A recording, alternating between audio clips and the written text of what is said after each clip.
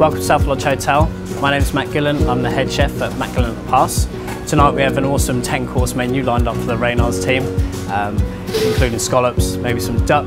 Uh, whatever we do tonight is going to be cracking. This restaurant is all about characters, the work of Matt and the work of crazy winemakers as well. That's my job, is to surprise you. I hope the Reynaers team are hungry when they get back from that Top Gear track.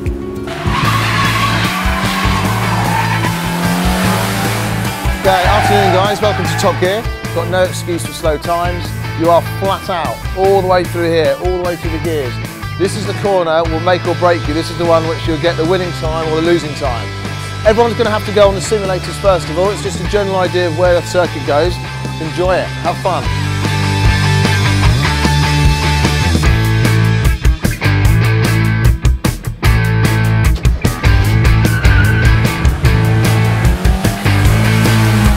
It was absolutely fantastic. The driving experience was just mind blowing. It's adrenaline fueled, slamming on the brake as hard as you can and just going hell for leather.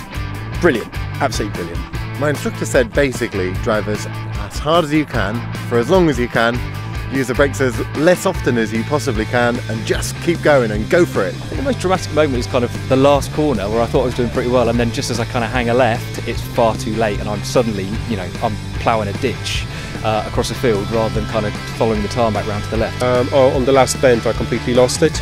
Uh, I literally went for a walk in the or, or a ride in the field, uh, so I could actually see grass on my windscreen. I'm very competitive. Um, I don't like being beaten. Uh, I like to raise my game, especially under pressure, and I think that speaks for itself, doesn't it? I really need to thank Reynaers. It's been a fantastic day.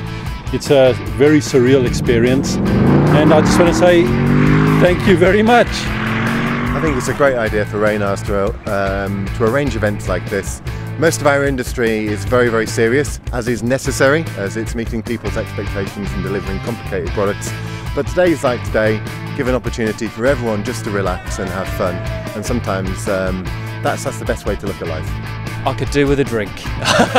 Definitely after driving like that, I'm very much looking forward to a nice drink of wine and some, uh, yeah, something just to calm the nerves a bit, maybe, maybe.